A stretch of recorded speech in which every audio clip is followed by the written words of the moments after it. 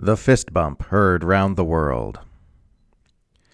Two powerful leaders met beneath the hot Jeddah sun to discuss oil and killing and friendship.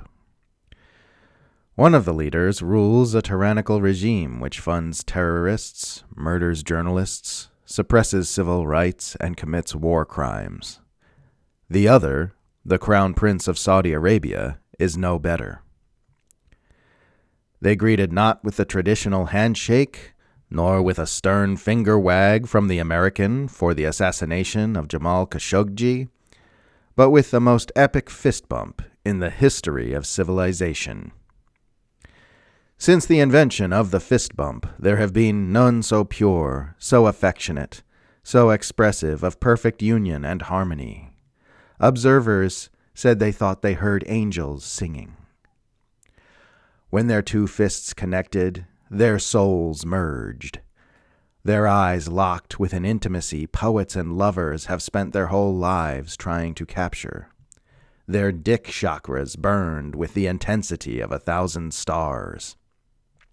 This is who we are, the fist bump roared to the heavens. This is who we have always been. Our sacred bond presides over an empire that is fueled by oil and blood, and we rule as one in holy communion with the great kings of old. Nothing shall ever come between us, not bone saw, nor mass beheading, nor strained lip service to human rights values on the presidential campaign trail.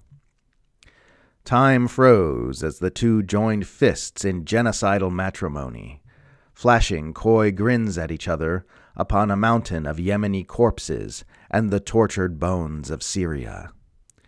Their faces turned to skulls.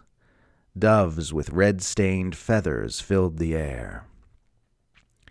And the Marxists of the world say, if only we could one day capture that kind of class solidarity. And the wives of the world say, if only he would one day look at me like that and the arms manufacturers of the world say, hoo hoo, yeah, buddy boy, this is going to be great. Let's go snort coke off a Tomahawk missile. And the hidden saints say, something's got to give here. And the world rotates on the axis of those two joined fists into ecocide and atrocity and Google Hollywood McDystopia. And the imperial juggernaut marches on and the earth spins off into the blackness. And we all hold hands and look to Providence as we plunge into an increasingly strange unknown.